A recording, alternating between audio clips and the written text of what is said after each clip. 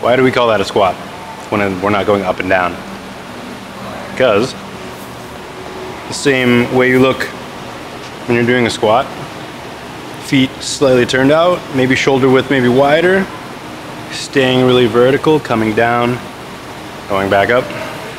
That's the same thing you're doing here, body position wise. You this way.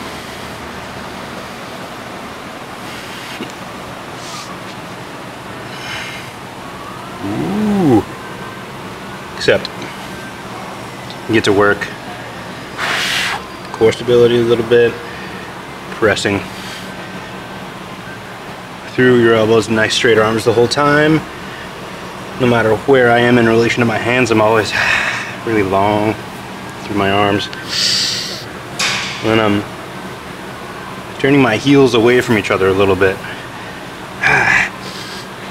And trying to keep a nice neutral spine, not too not too arched, not too rounded, right in between.